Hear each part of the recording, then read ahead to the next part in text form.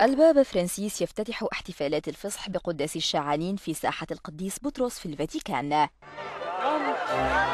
البابا كان قد مر بين الحشود دون حراسة مشددة ما دفع شاب بولندي للاقتراب والتقاط صورة سيلفي بهاتفه المحمول مع البابا.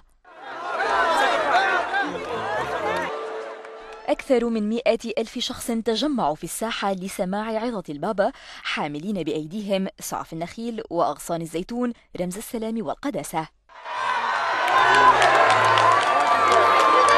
ويزور بابا الفاتيكان فلسطين في أول رحلة له منذ تنصيبه حبرا أعظم في الفترة بين الرابع والعشرين إلى السادس والعشرين من أيار مايو المقبل.